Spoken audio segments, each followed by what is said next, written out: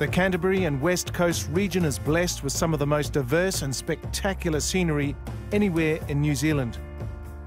From towering mountains, glaciers, and roaring rivers to rolling plains, majestic lakes, and sweeping coastline, this region has it all.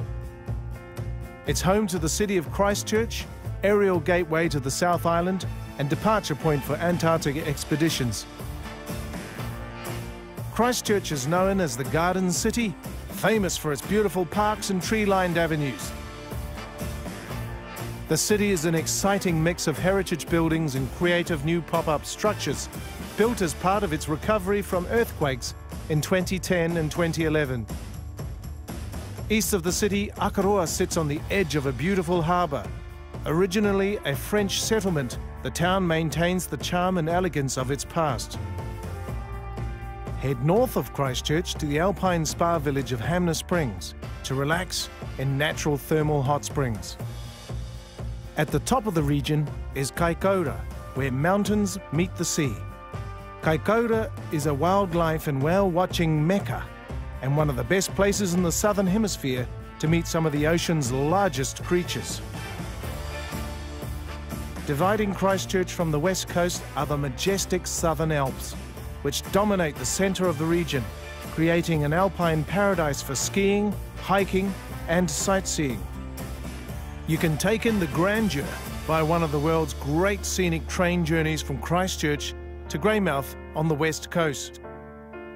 The west coast is known for pounamu, or greenstone, traditionally used by Māori for tools, weapons and personal ornaments.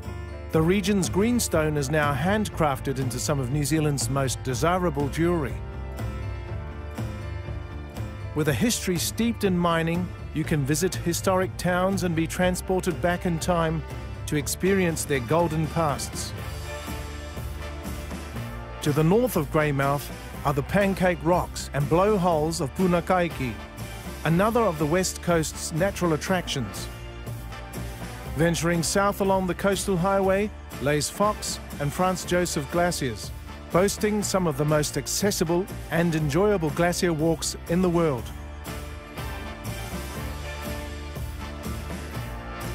At the southern tip of this region is the Mackenzie country, a photographer's paradise.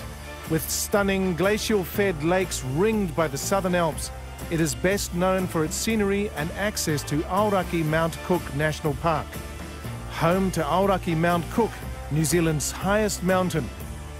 The region is also recognised as the world's largest international dark sky reserve, attracting visitors to one of the few places on Earth where it is still possible to view a starlit night sky devoid of light pollution.